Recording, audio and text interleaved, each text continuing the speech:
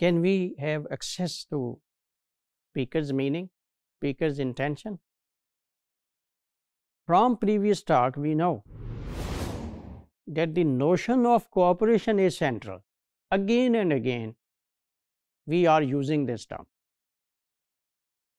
Now, this is the time to focus on it because through it we will be able to know how we get access to speaker's meaning. We means hearers, addressees, because we have said in the beginning when we introduced Grice's theory of meaning that the speaker assumes hearer recognizes my, uh, my intention.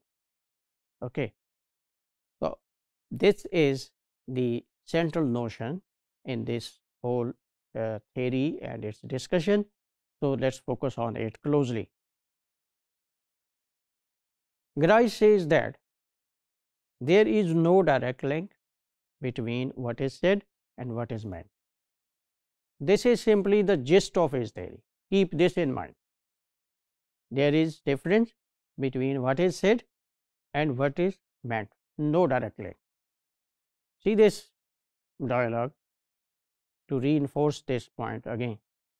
I am out of petrol, speaker A says. And speaker B responds, there is a garage around the corner. This is the response. Now, see the actual words and the response that come. And interestingly, speaker A understands the response of speaker B. He understands within this context that this person tells me that uh, a garage is near, a petrol pump is very near, go over there and get petrol from. Grice suggests that a principle connects both utterances. Now, how this speaker A connects uh, his words with speaker B's response. Grice says these two utterances are connected by a principle, by invisible principle, natural principle and that is principle of cooperation. With the help of this principle, both speaker and hearer fill up the missing links and when these missing links, missing information is filled up, the message is conveyed. We get access to the speaker's meaning. The principle of cooperation actually is a set of expectations. These expectations are called maxims of cooperation. Maxim means norms, things which uh, we should follow and uh, uh, we are not bound to follow them. They are not rules like traffic rules or grammatical rules. Rules and maxims are different. Maxims can be violated. Okay. So, what are these expectations or maxims of cooperation? They are four. Number one, maximum of quality, maximum of quantity, sorry. This maxim says that contribute to talk as much as is required. What it means? When you talk with a person, provide sufficient information to that person. Nothing more, nor less. A speaker says, Where do you live? And B replies, In Lahore. Now, see, B, B in fact violates this principle. B is not cooperating, and that's why A doesn't understand where this person lives. Lahore has 9 or 10 towns, then blocks, then streets, so, he does not provide sufficient information. So, maximum of quantity is violated. The second maxim is maxim of quality. Here quality means that you provide true information, as much true as you know about it, right? For example, see this dialogue. Speaker A says, Are they married? And B says, As far as I know, they are. Okay.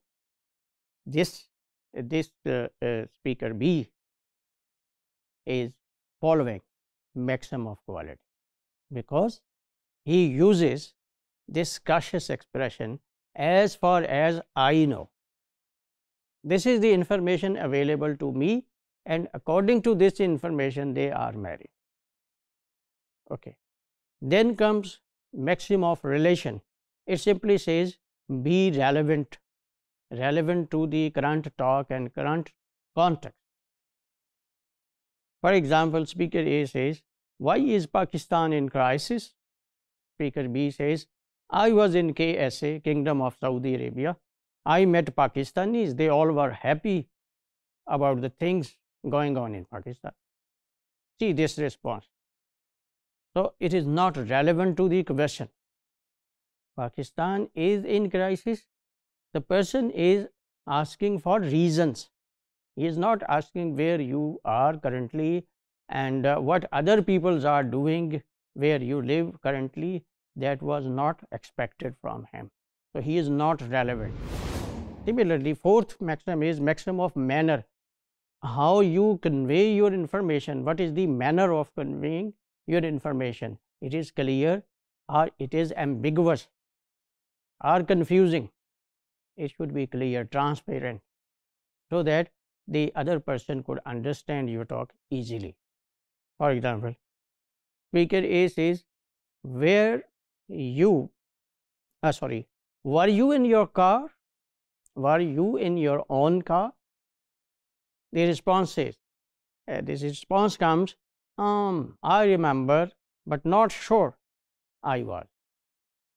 Now see, what this person would understand, whether he was in his own car or not, not certain. So, this is not clarity in the communication of information. What Grice suggests are not rules as I uh, already explained they are just expectations which may be violated. These violations, now what happened? This is how this principle of cooperation are these four maxims, the same thing, operate. How they operate? When a speaker violates these maxims, the hearer reacts to that violation and during that reaction he is forced to infer to derive the meaning being conveyed indirectly. So, in a way violation triggers the implication of the message. It violation of these maxims, it is the thing that the hearer uses to get access to speaker's meaning. This is response to our question in this module. Now, you would do this task so that you can understand this use of maxims yourself. You are a press reporter, you ask a question, uh, you are A, to a politician, politician is B. Now, A says, Sir, is it a threat to our unity? B says, No comment, or doesn't reply and leaves. What will you understand from this reply according to Grice theory? This too has certain meaning. The speaker has conveyed you that meaning. Now try to discover, uncover that meaning with the help of this uh, theory of cooperation or maxims of communication. We conclude Grice theory can help feminist cause against sexism in language. The theory is based on principle of cooperation. So, This conclusion actually refers to the previous module and this module.